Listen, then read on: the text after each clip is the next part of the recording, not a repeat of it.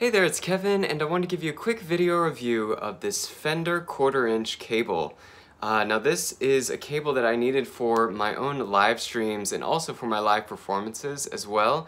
I play piano and I needed some connectors to an amplifier that I was using and this worked perfectly.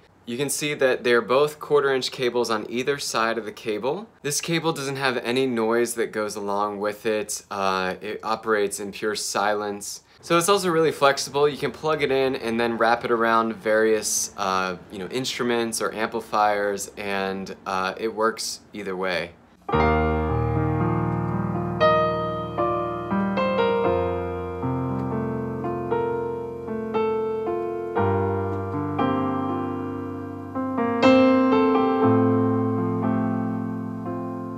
Overall, this Fender instrument cable was exactly what I needed and it really helped out with my live performances. So I hope you enjoyed the review and I'll see you next time.